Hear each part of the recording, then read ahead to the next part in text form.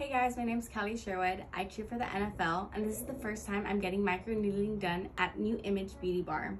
I am so excited to see my results, and I can't wait.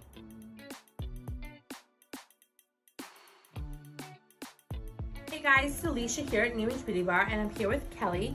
She is an NFL cheerleader and she is very concerned about making her skin look beautiful. It already does, but she wears a lot of makeup. So what we're gonna do today first is we're gonna do dermaplaning. We're gonna get some of her peach fuzz off her skin, clean up her skin for all the dead skin that she has. And then the second procedure we're gonna do is microneedling. Get rid of some of the dark spots and also minimize some of her pores. So let's get started and I'll show you what it looks like.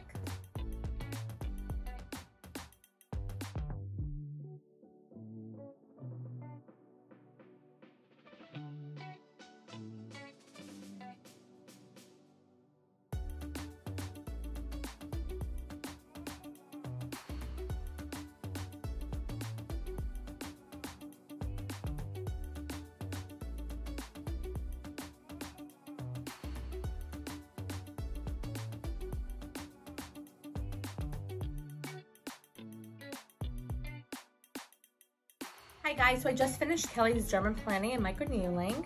And as you see here on her face, there's some redness, a little bit of dry blood. That's to be expected, completely normal. It will go away in a few days. The redness will subside. And in about a week or two, she'll start to notice a huge difference with her pores and her dryness. So I'm excited to see your results. I do have a question to ask you. Uh, how was the pain? How did it feel? It was a little weird, but I, it was tolerable, and I'm so excited to see the results in a couple days. Awesome. So her face is also very shiny because I put some vitamin E in there to help um, with some of the dryness that she had. And so she'll go home with that. She she sat there. We numbed her a little bit. We didn't numb her much. Uh, she didn't bleed in a lot of places because she has actually has really good skin. Um, I'm excited to see the results and uh, excited to see Kelly come back. Thank you for coming. Thank you.